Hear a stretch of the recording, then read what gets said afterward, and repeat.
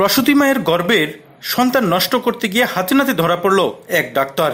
ঘটনাটি ঘটেছে শান্তিরবাজার মহকুমার বীরচন্দ্র মোহনু শহীদ মেমোরিয়াল হাসপাতালে। ঘটনার বিবরণে জানা যায়, বুধবার সকাল আনুমানিক দশটা নাগাদ শান্তিরবাজার মহকুমা অন্তর্গত বীরচন্দ্র মনুর ওই হাসপাতালে হঠাৎই অভিযানে যান রাজ্যের স্বাস্থ্যমন্ত্রী সুদীপ রায় বর্মন এবং স্বাস্থ্য দপ্তরের অন্যান্য আধিকারিকরা। তিনি হাসপাতালে গিয়ে দেখতে পান, এক প্রসূতি মায়ের গর্ভের সন্তান নষ্ট করতে ব্যস্ত ওই হাসপাতালের কর্মরত চিকিৎসক তথা এমওআইসি অজয় বিশ্বাস। এই ঘটনা দেখার পর স্বাস্থ্যমন্ত্রী সহ দলটি গোটা হাসপাতাল চত্বরই পরিদর্শনে নেমে পড়েন।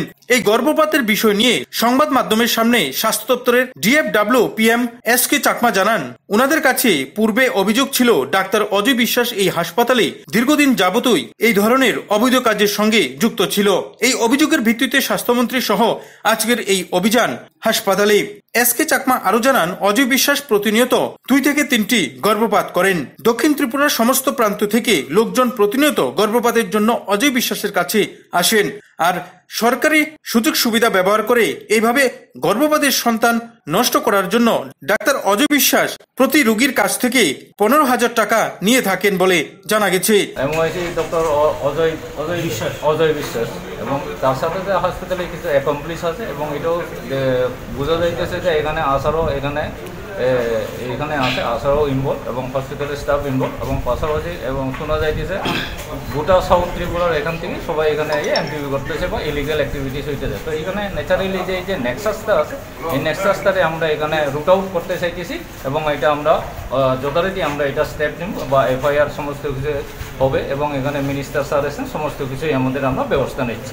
বুধবার এই অভিযোগের সত্যতা দেখে স্বাস্থ্যমন্ত্রীর আদেশে ডক্টর অজয় বিশ্বাসের নামে অবৈধ কাজ করার জন্য শান্তিরবাজার থানায় মামলা দায়ের করবে বলে জানা গেছে। ডাক্তার অজয় বিশ্বাসের এই ধরনের কার্যকলাপ সকলের সামনে প্রকাশ্যে চলে আসার পর থেকে সমগ্র শান্তিরবাজার এলাকা জুড়ে ছি ছি রব উঠেছে।